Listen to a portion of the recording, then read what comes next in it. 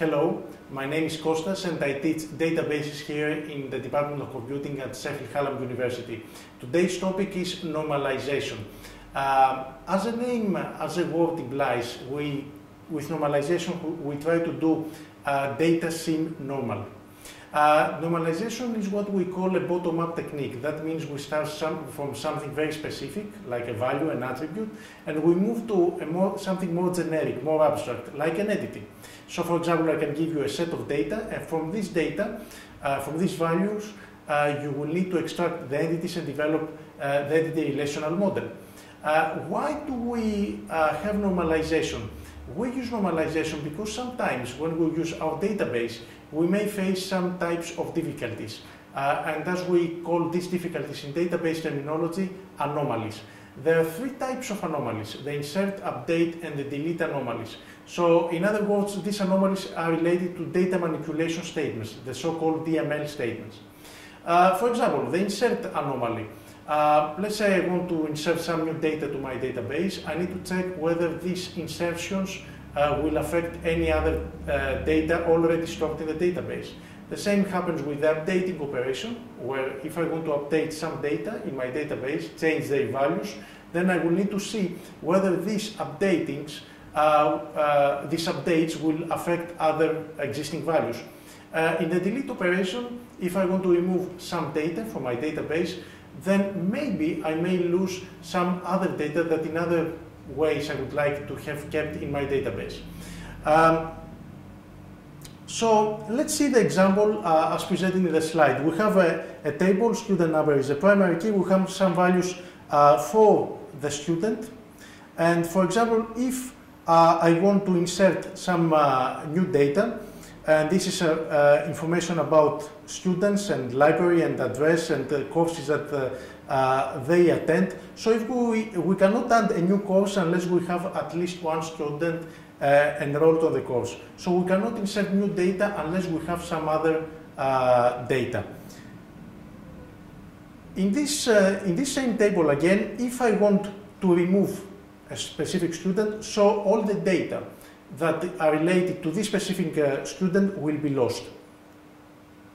In the updating operation, uh, as, I, as we mentioned already, if we update some values in the database, we need to see uh, how these affect existing uh, values uh, in the database. For example, uh, the, for example, we have the student called Jones that he this student moves address.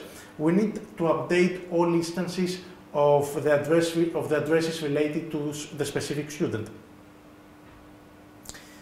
Normalization has three stages, three normal forms, and each of these forms uh, follows a specific rule. For example, uh, a table is considered to be in the second normal in the first normal form if all the fields contain only scalar values, uh, as opposed to list of values. So let's consider the, the following table. Is it in the, in the first normal form? No, it is not. Because if we see some values, for example, the ISBN number or the title, uh, these values duplicate themselves for different values of the name. Uh, we call this data duplicated data, and we call the, the name of the font values, we call them repeating attributes. So what do we need to do in this case? In, uh, in this case, we need to decompose the table. We need to break the table into new tables. We need to separate uh, the repeating values from uh, the repeating attributes from the duplicated data to two new tables. In the second normal form, we need to have brought uh, our table, our initial table, to the first normal form. That means we will have generated two new tables from the original uh, first table. And we need to remember the following rule. Uh, all the non-key attributes should depend on every part of the key. So we need to check in the two generated tables whether the, each non-key attribute depends on every part uh, of the key.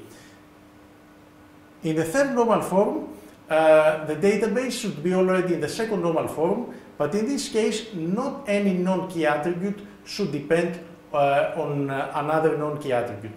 So let's uh, repeat again the three important rules of normalization.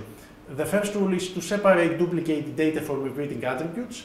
Uh, the second uh, rule, uh, for example, to go from the first to the second normal form, we need to check whether non-key attributes depend on every part of the key.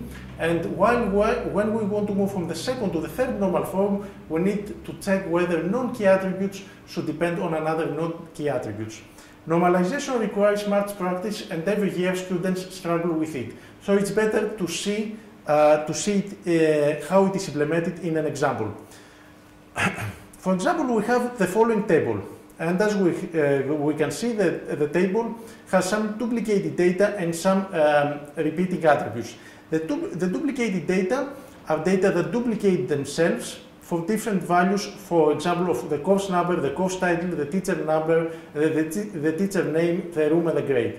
The duplicated data are the student number and the student name, and the rest are the repeating attributes. So what do we do in this case?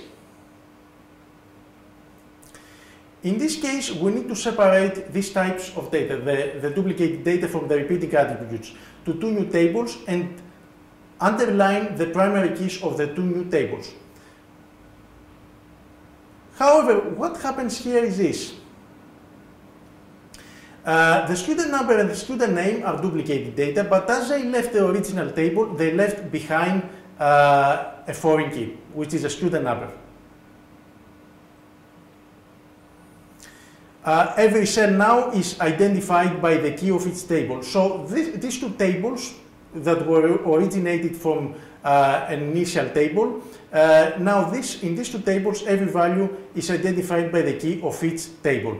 What do we, now these tables are in the first normal form, we need to reach now the second normal form. In this case, as a rule uh, mentions, we need to check um, every non-key attribute if it depends on every part of the compound key.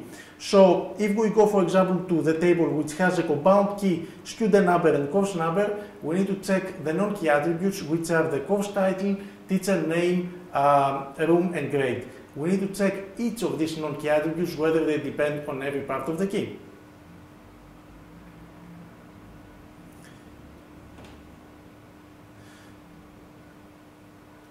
Some of these non-key attributes depend on course number only. So we need to take these attributes with the course number and put them in a separate table.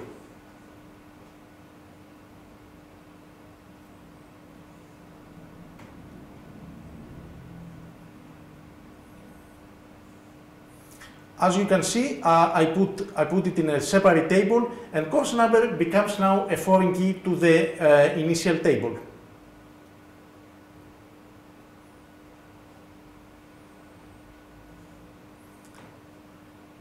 Some data now depends on something other than the key. Remember the rule from the second to the third normal form. We need to check if non-key attributes depend on another uh, non-key attributes. If they depend, then we move them uh, to a separate table.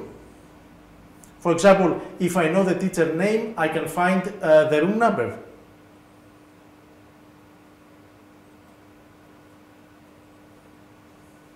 And now I have uh, another table generated with teacher name as a primary key. Notice that teacher name became uh, a foreign uh, key to the, uh, to the table um, uh, that it left behind.